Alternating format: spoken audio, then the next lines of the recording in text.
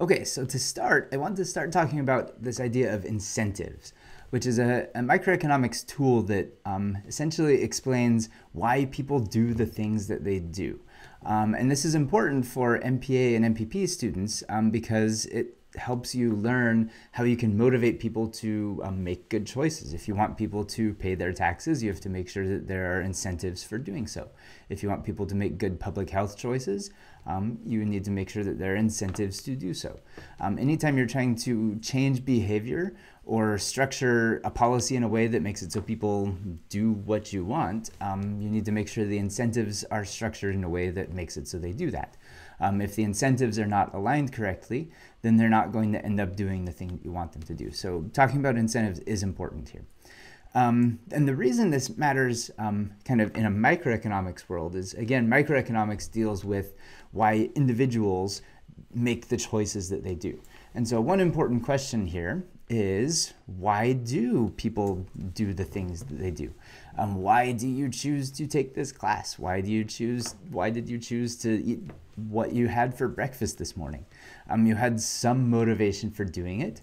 Um, it got you. It, it, brought you some amount of happiness.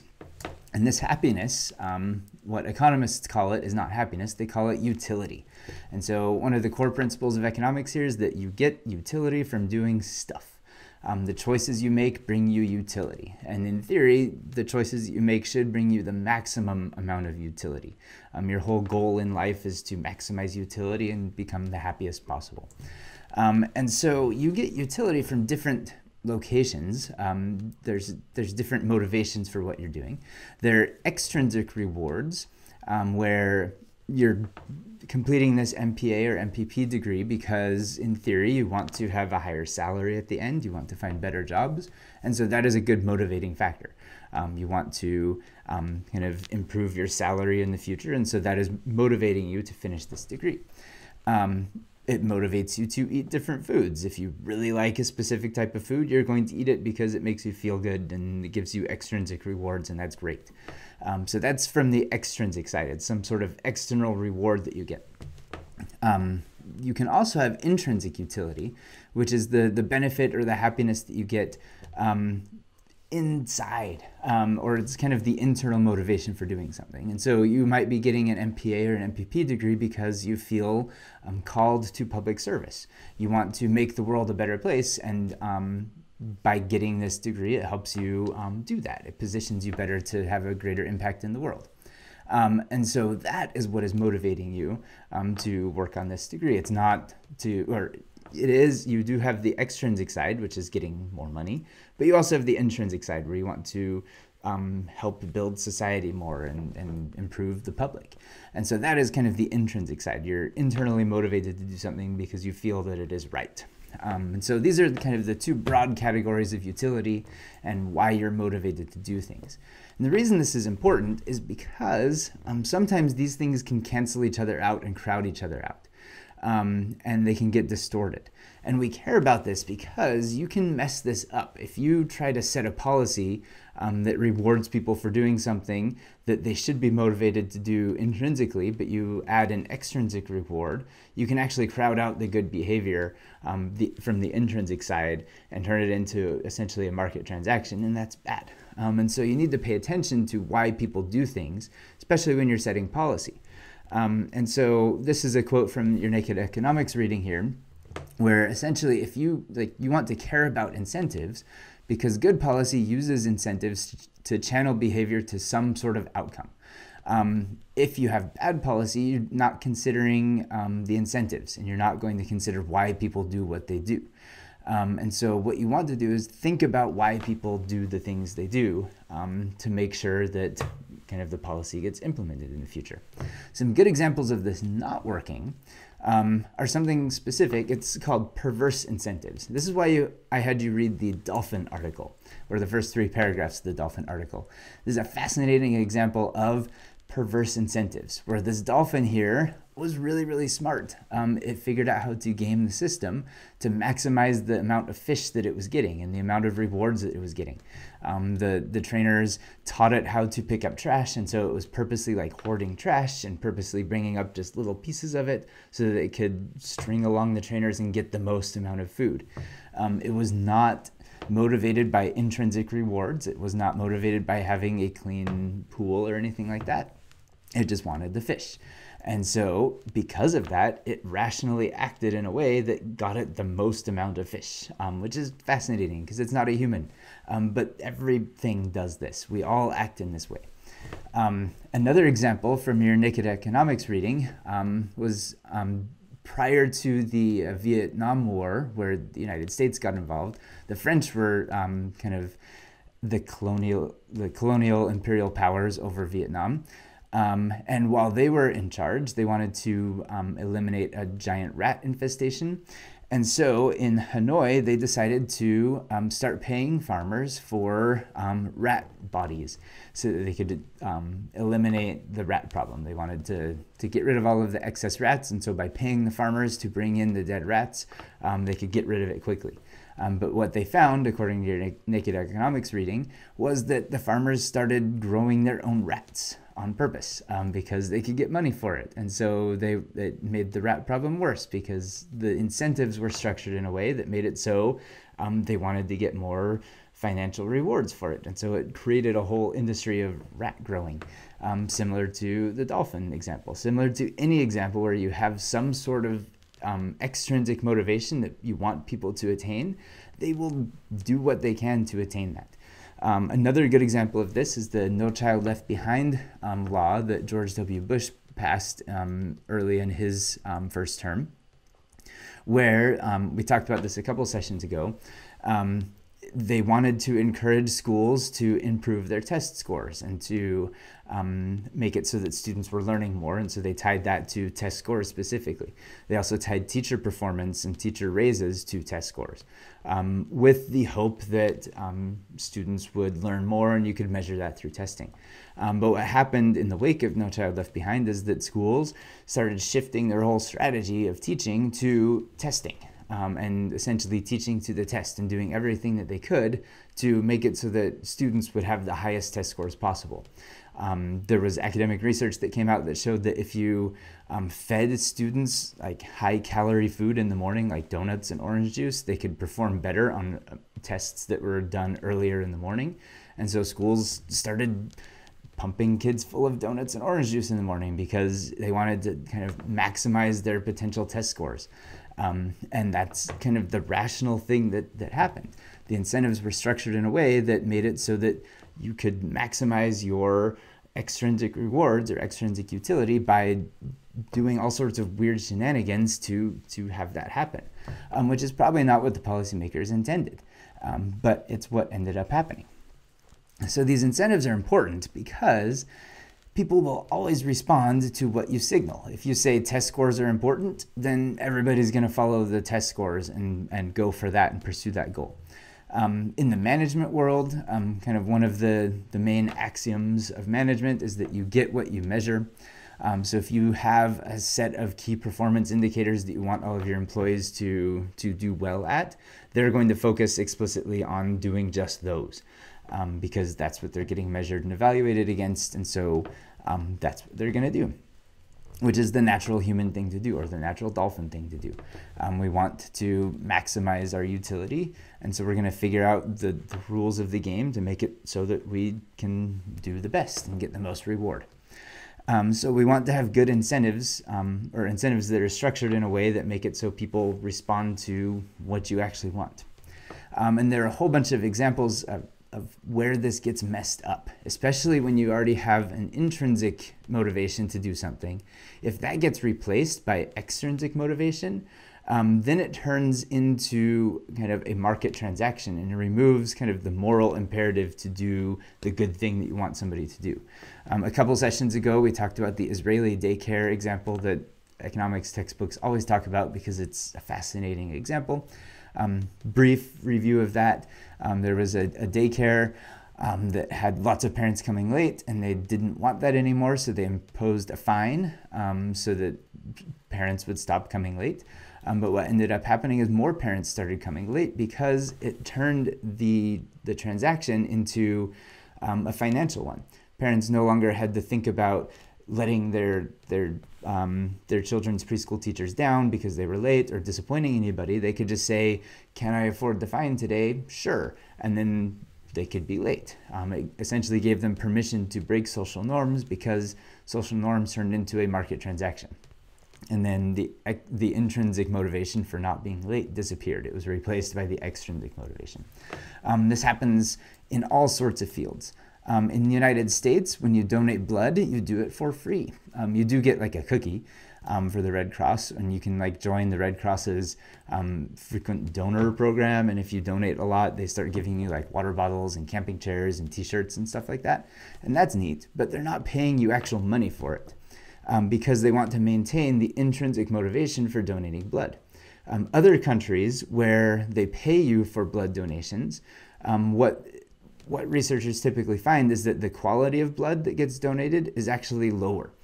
Um, and uh, more, uh, they're, they're, they have to go through more screening for diseases and um, they have to reject more blood because of uh, contamination with drugs and other things.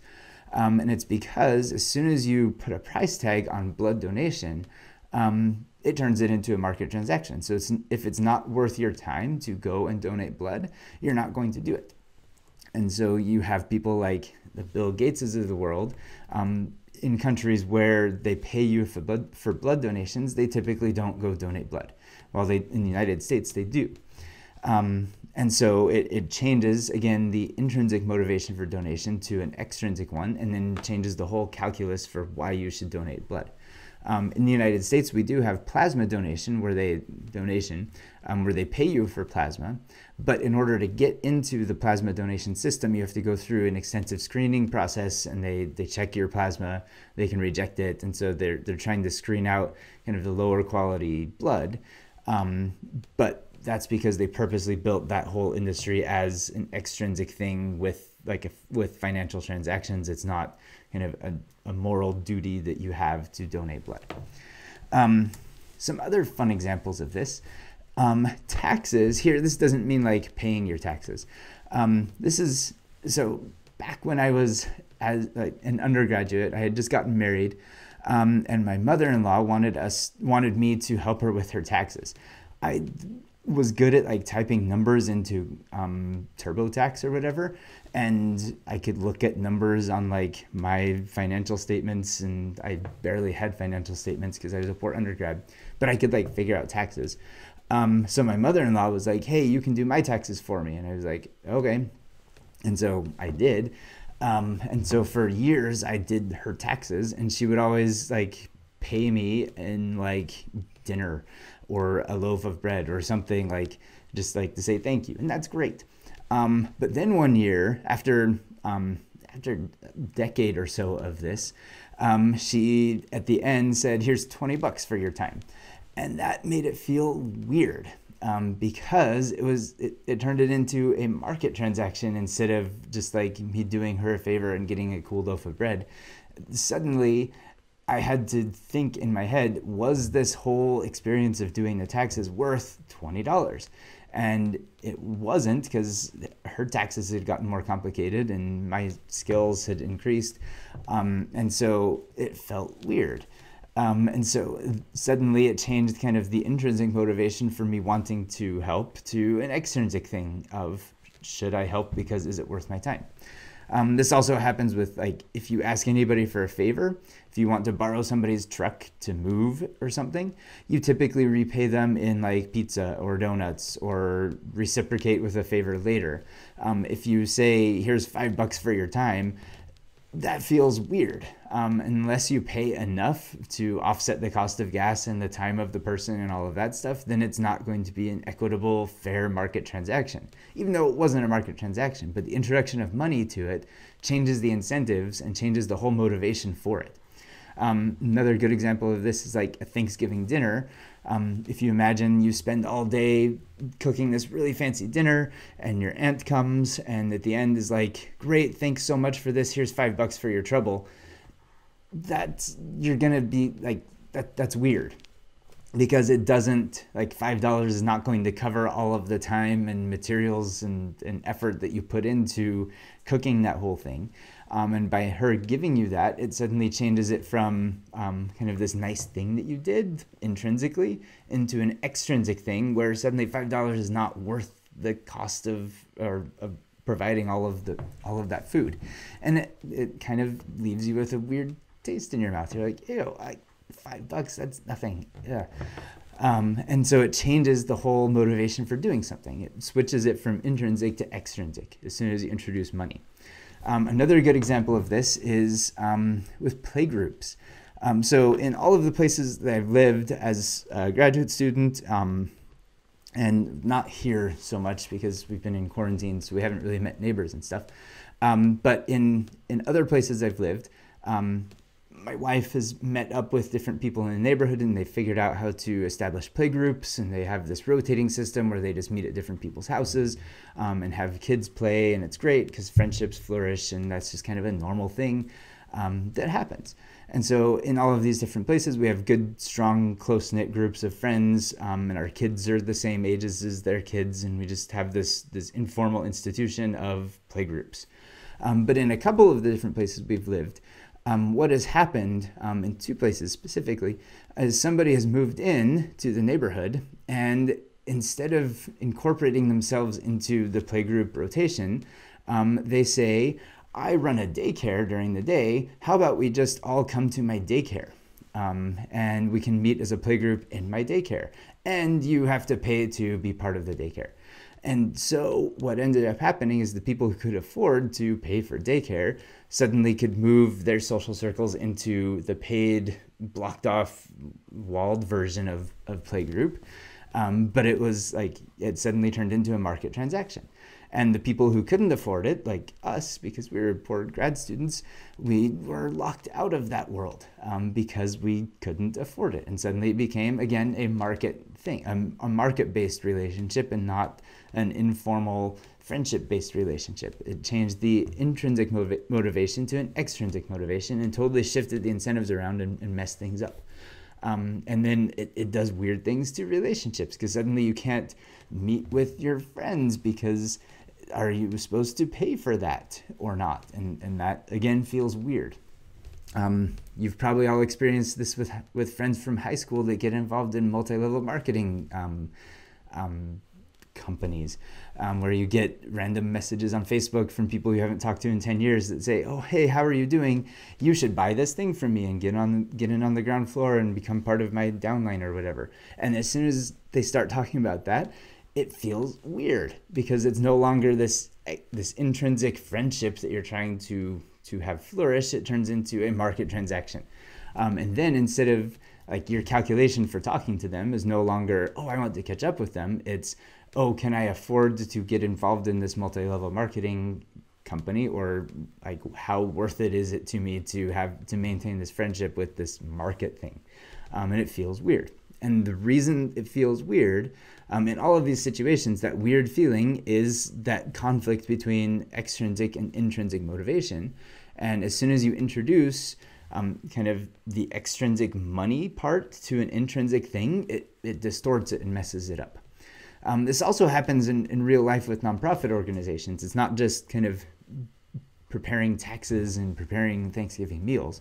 Um, one good example of this is the National Endowment for Democracy. Um, they're a, a big semi governmental foundation here in the United States, and they provide lots of funding for um, NGOs or nonprofits that work abroad. Um, specifically to NGOs and nonprofits working abroad to help with democratization efforts, um, to help with election monitoring and candidate training and, and other things that um, helps democracy run smoother in other countries.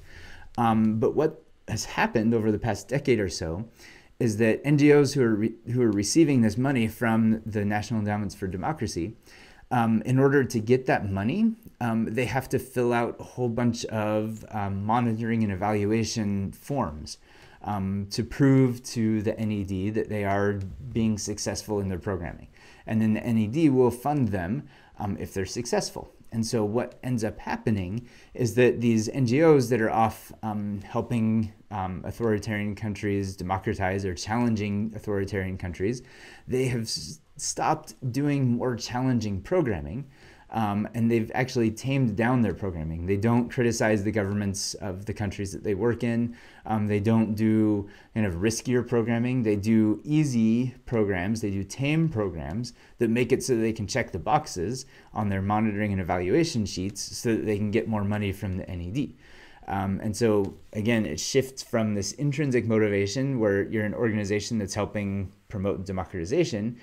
But as soon as you introduce this market based idea of extrinsic motivation and, and these grants, um, then the calculus changes. And now you just want to maximize the amount of grants you get. And so you choose easier programs um, and tamer programs. And so that can distort what the NGO was originally supposed to do, um, and that can cause problems. Um, so again, all of these examples here are about this tension between intrinsic and extrinsic motivation, the utility that you get from um, doing something. Um, you either get internal utility and internal happiness, you feel good because you're doing it, you're providing somebody a favor, etc. Um, or you get extrinsic motivation or extrinsic utility where you get happy because you get money for it. But as soon as you introduce money, it changes the calculation from kind of adhering to a social norm to is it worth my time to do this? Um, and then that distorts the whole reason for doing the original good thing, which is an issue. Um, so the main moral of the story here is is that that extrinsic rewards can crowd out intrinsic motivations. So what should you do about this? Don't violate important social relationships by reducing things to market transactions. Um, as soon as you do that, it turns it into a, a, a, market transaction where you have to think about the value of money and is it worth your time um, for something. Um, if you do that, then like social norms disappear because now it's just like this cold hard calculus, and so you don't want to do that. Um, so an- another way of saying this is pay enough or don't pay at all. Um, so if you're going, if you really want to pay somebody for their Thanksgiving meal that they made you, don't give them five bucks. Give them the appropriate amount that is that like the value of their time and effort to do that. Um, otherwise, it's not worth it, and it will feel weird. Um, so, moral of the story is that pay enough for things if you want to pay for them, or don't pay at all and just have it be a social thing and pay in other intrinsic methods. Um, so that's why we care about incentives here, especially when you get into public policy and public administration. Um, you can create dolphins in society um, by um, crowding out intrinsic motivations. Um, for instance, No Child Left Behind. In theory, teachers are teaching their students to learn for the sake of learning. Um, that's the intrinsic motivation. But as soon as you introduce the extrinsic part, the testing, um, then everybody shifts their intrinsic motivations to that extrinsic test, the external measure of how well they're doing, and then they focus on that. And it, it distorts the whole purpose of, of teaching people. Um, and so that's why we care about incentives.